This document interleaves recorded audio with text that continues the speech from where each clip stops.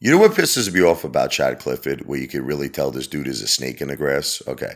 So I was gonna buy Redbox at eight dollars a share. I was I was all ready to go. I was gonna pick up a thousand shares. So Chad, you know, I made a video kind of I did kind of asking people's opinions and advice because I really didn't know what was going on at that point with Redbox. Redbox.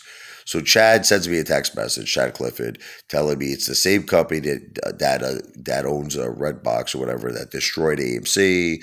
You know, I really suggest I don't want to see you lose more money, Ape. I don't like you personally. I don't get along with you, but I don't want to see you lose any more money. And like an idiot, I listened to this friggin' bozo, this friggin' buffoon, right? And now look at where it's at. It's over seventeen dollars a share. I mean, I would have made a fortune already if I would have bought it at eight, and I would have been calm as a bunny. I would have been so calm at that cost average, right? So, you know what really, like, really pisses me off about this guy Chad Clifford. I swear to God, I wish I could find this guy's a trucker. I want to, I want to pull like friggin' a, a, truckload of bananas, or uh, I want to bury him in bananas. Calls himself an ape. I'll give him an ape. Okay, he actually commends Commanded 35, which first of all, it's all bullshit. The guy didn't even make one penny.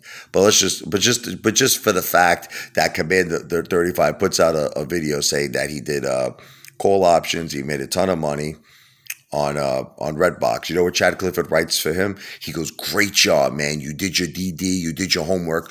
Great job, Commanded 35." And he sent me a text message telling me that I'm an idiot if I buy it.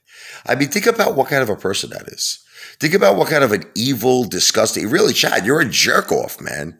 I mean, look, it would be one thing if you preached the same message to Commanded 35 that you preached to me. Then I would say, okay, listen, man, it's all good. You know, none of us are, are financial advisors. We're all entertainers. But for you to call me a stupid idiot because I wanted to buy Redbox and you're commanding, uh, co- co- you know, you're, you're complimenting and, and commending uh, you know, commanded 35, that, that he did options, that, that he's a genius, he's smart, that makes you one big gigantic asshole.